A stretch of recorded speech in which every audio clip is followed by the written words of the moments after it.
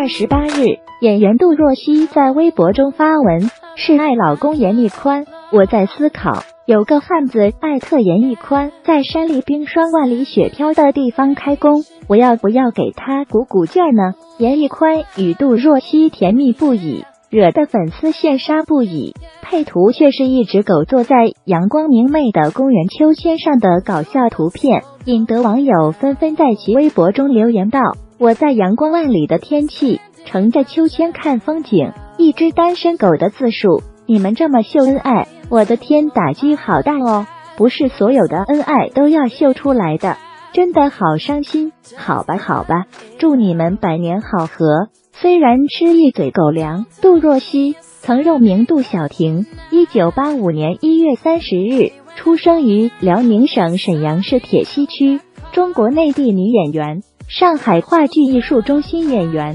毕业于上海戏剧学院表演系两千零二届本科班。二零零五年出演个人首部电视剧《孔子门生》而进入演艺圈。